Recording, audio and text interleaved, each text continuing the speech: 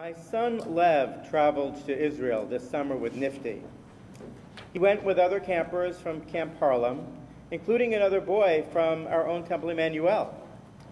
Despite the tremendous odds of the pandemic, Lev was able to make this fantastic journey.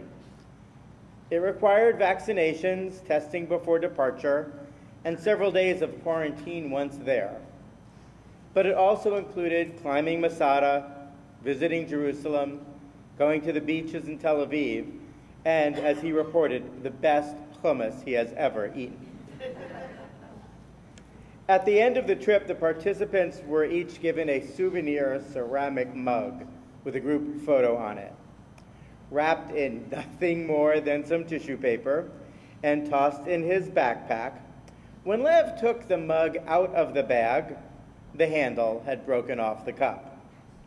Lev had returned safe and sound, but with something a little broken. Lev asked me if I could somehow reattach the handle to the mug. Did I mention that the handle was not only broken off from the mug, but broken itself into three pieces?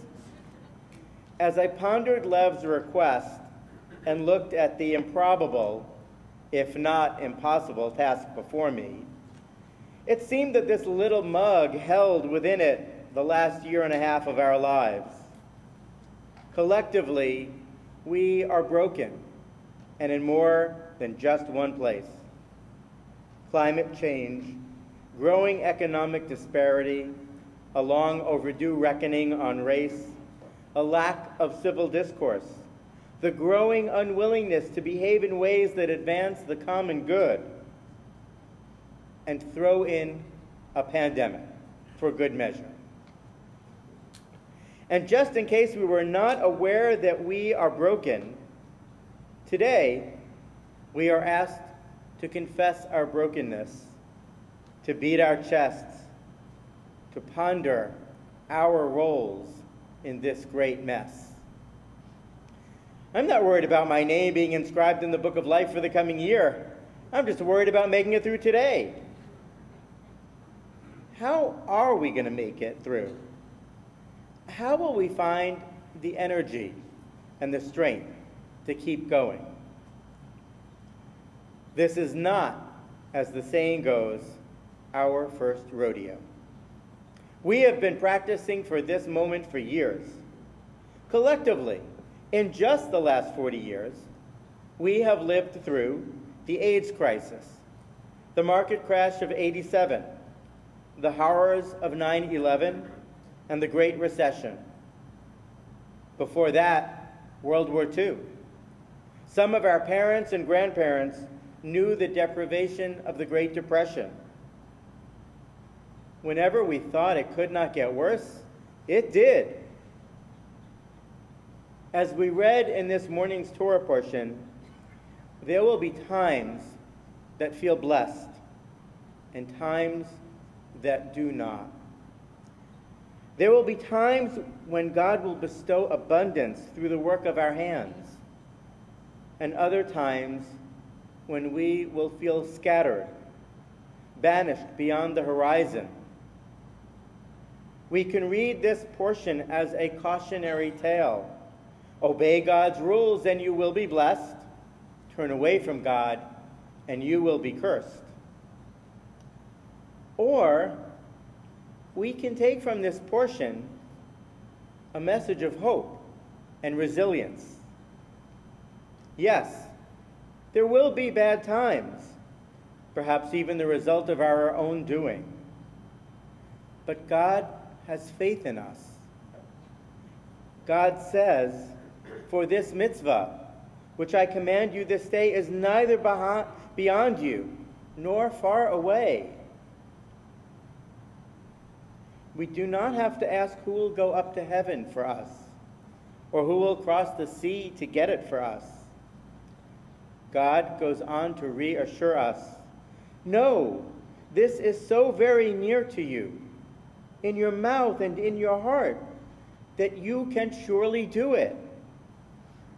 In other words, we've got this.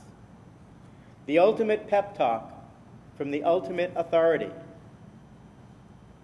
Now, even if we are not so sure God seems to be, God is telling us that we are a resilient people. After all, our own Jewish history is an example of resilience. The destruction of the temple, exile, the Inquisition and Crusades, the Holocaust. But in today's portion, God is not speaking to us collectively as the Jewish people, but to each of us as individuals. Each of us can do it. God believes in each of us to find the strength or resilience to do it. Resilience may be a psychological term, but Judaism certainly embraces resilience. The key components of resilience are building connections, fostering wellness, finding purpose, and seeking help when it is needed. Isn't that what Judaism is about, after all? We know that Judaism cannot be lived in isolation, and so it is with resilience. Both require connection. Building connections is about prioritizing relationships and nurturing them over the long run.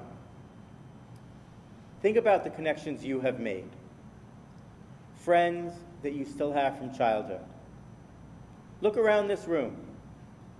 For some, there are people whom you have known for years, if not decades. At a recent bat mitzvah here, the guests included a group of parents, all of whom met when they enrolled their children in our early childhood education program. Those connections made in the carpool have blossomed into friendships between parents and friendships between children. Now, while self care has been quite the buzzword over the last year, fostering wellness has always been part of Jewish practice. In fact, in the past year, Temple Emanu-El has helped some of you schedule your COVID vaccine appointments. From our prayers, which speak to the importance of a healthy body and a healthy soul, to support groups for those who have lost a loved one. Judaism and the Jewish community help us build resilient bodies and spirits. And we find purpose when we lend a hand to one in need, or find opportunities for self discovery and broadening our horizons. We may find our purpose by studying Jewish texts together in Bible class or with holy scrollers, by joining worship with Rick Calvert at Simchat Shabbat, or as many as you have by packing emergency food bags for those who are, who are hungry. There are also times when we all get stuck. It might be an emotional impasse or the inevitable computer problem.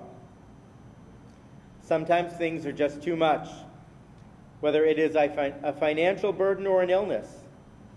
Being resilient means knowing when and where to turn for help.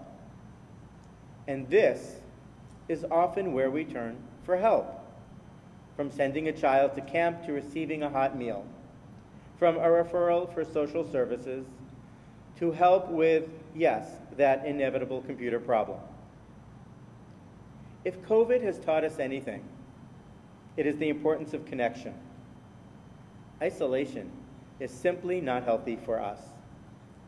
But Judaism, a religion that requires a quorum of no less than 10 in order to recite some of our most important prayers, has been teaching us this for years. God not only believes in our resilience, God has faith in us. Now, we may think it's supposed to be the other way around, that we are to have faith in God. But in our Torah portion, God has faith in us to choose goodness and life over sadness and despair. Last week, both Becky J and I referenced the writer and professor Brene Brown. Turns out, Sandra Goldman is also a student of Brene Brown, and she was kind, kind enough to lend me one of Brown's books the gifts of imperfection. Brown thinks and writes often about faith, At one time, she, like many of us, defined faith as there is a reason for everything. I bet most of us have uttered those words without really considering if this is something we actually believe. But I don't think it works that way. Most of us are neither so sure of things, nor do we wish to ascribe to God every tragedy, illness, or mishap. Few of us really take comfort from such a glib saying. If in your own pain someone has uttered those words to you, you know all too well how hollow they rang. Brown offers a definition that is at once both universal and so very Jewish. Brown defines faith as a place of mystery where we find the courage to believe in what we cannot see and the strength to let go of our fear of uncertainty. This is so Jewish. Just think about it. Jewish belief offers a number of ways of imagining God or what happens after we die. We have embraced our uncertainty. Faith is not always about being certain, but faith is about being able to live with uncertainty. As Anne Lamott writes, the opposite of faith is not doubt, but certainty. God has faith in us to embrace the mystery and to let go of the fear. When God exhorts us to choose life, it does not mean there will never be times of brokenness or uncertainty. We do not have to have all the answers. We certainly aren't born with road map, maps. But it is our faith that allows us to embrace the uncertainty and the brokenness. There will be times of wholeness and times of brokenness. Things may be a little broken right now, but that's no reason to give up. We can fix it. Kintsugi is the Japanese art of putting broken pottery pieces back together with gold, built on the idea that embracing flaws and imperfections, you can create an even stronger, more beautiful piece of art. The store did not have any gold, but they did have glue. Lots of it, in fact. I guess a lot of things need fixing right now. Nothing like finding a commentary on our state of affairs right in the home improvement aisle of Target. But I bought some glue, and I did my best. you can see the cracks, and while I'm not sure it is stronger or more beautiful, it is mended, not just with glue, but with hope. According to the 16th century rabbi and mystic Isaac Luria, God created vessels into which God poured God's holy light. But these vessels weren't strong enough to contain such a powerful force, and they shattered. The sparks of divine light were carried down here to earth, along with the broken shards. Put another way, there's a crack in everything, but that's how the light gets in.